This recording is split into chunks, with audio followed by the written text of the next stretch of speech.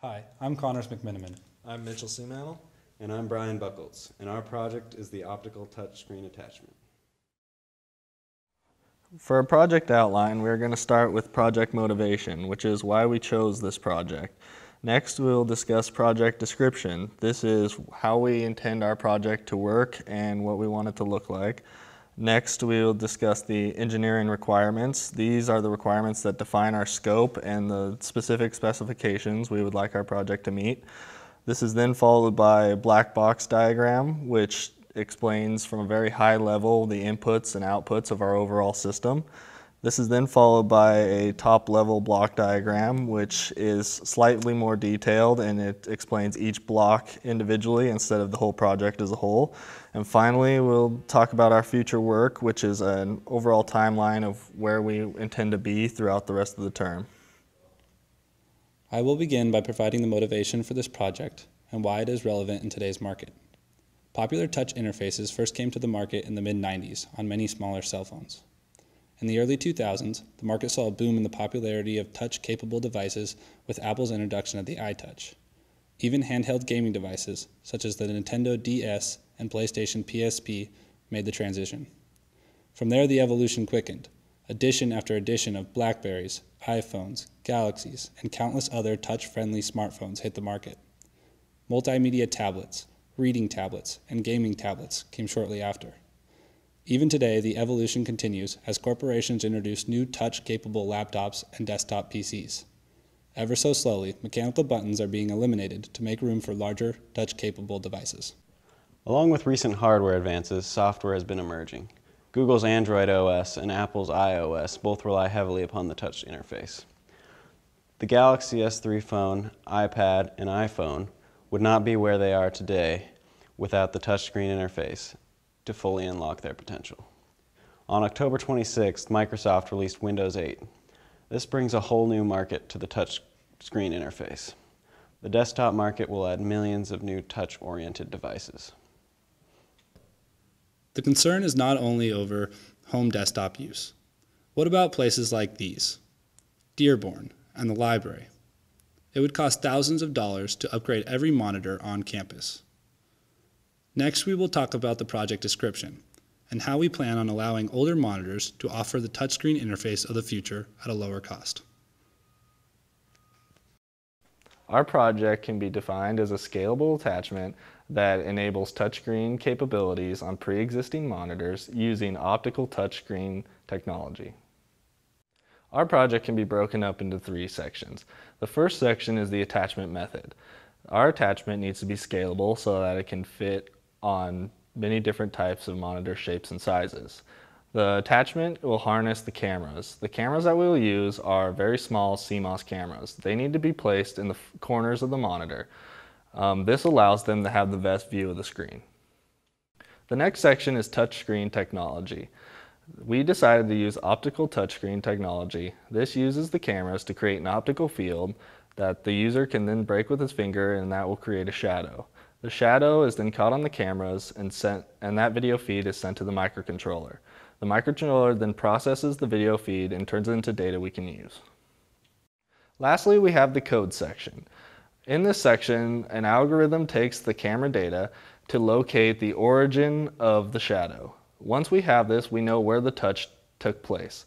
With this, we can take that location and initiate a click or swipe on the computer.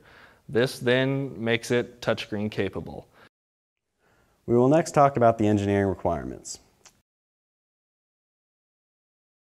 The idea behind our first requirement is that we want the device to be easy to use, set up, and maintain. If the product is frustrating to use and set up, the device will lose much of its value. The next highlighted requirement is to highlight the fact that this is an alternative for buying a new monitor. Large touchscreen monitors are expensive, and buying an attachment instead of a monitor should lower the total cost to the user. Furthermore, the device should fit with pre-existing hardware. It should be scalable to fit monitors from 17 to 35 inches, as well as fit properly with the majority of monitors. The idea is to have the consumer buy one product knowing it will fit their monitor at home. The device should also be aesthetically pleasing. In order to, for the device to be marketable, the consumer needs to like the look and feel of the product. The device needs to consume minimal power. Therefore, the device will only be powered but from the USB. Um, for obvious reasons, the device needs to operate in typical home environments. This means that the device will be operational in both light and dark environments and work at room temperature. Most importantly, we want the device to operate in an accurate and intuitive manner. In order to make this happen, the device should acknowledge 20 touch locations per second, as well as report a touch location within 5 millimeters of the actual touch point. Nothing is more frustrating than an improperly working touch device, and we hope to avoid this frustration entirely. Furthermore, in order to prevent damage to pre-existing monitors, touches should be detected with less than 25 newtons of force. Our last set of engineering requirements aims to help the device withstand typical wear and tear. We understand monitors are often moved and or bumped.